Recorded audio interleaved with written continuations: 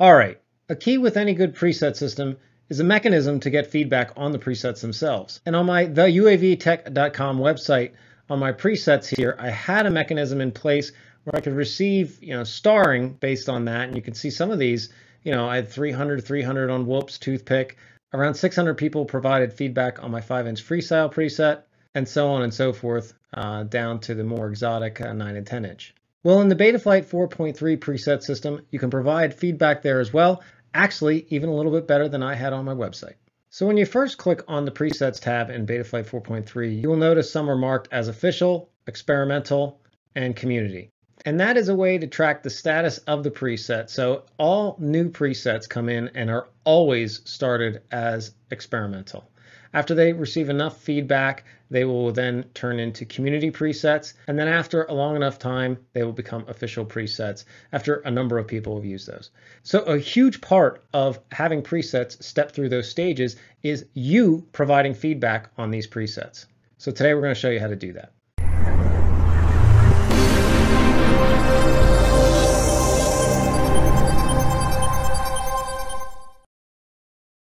So it's really pretty simple. Uh, so for example, on this preset here, this is my five inch preset. If you wanted to provide feedback on that, you would just click on it here uh, after you've loaded it and used it and you know whatever your thoughts are. You would hit the discussion button right here. And that will go ahead and take you to the linked PR, the pull request that actually brought that preset in, or or if there was changes to the preset or whichever, it will take you to the appropriate spot the preset uh, author wants you to go uh, for information on this preset.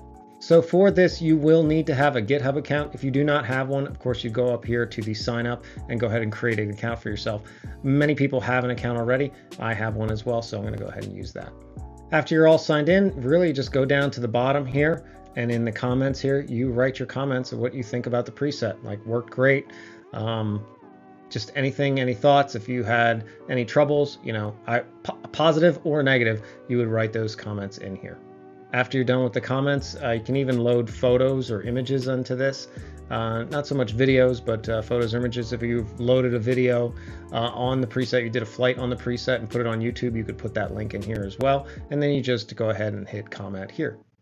And that's it. It's really just that simple. So I know I would appreciate anybody giving feedback on any of my presets, the good, the bad, uh, whichever you have, any experiences, any uh, flight footage, any uh, anything of that nature, um, yeah, that would uh, step them through from experimental to community to official along the way. And I would recommend the same for any other presets you're using out there. This goes also for, you know, there's OSD presets, uh, there's RC Link presets, VTX table presets, any of that stuff. Uh, go ahead and feel free to give any comments on that. Okay, well, thanks everybody, and I hope this helps.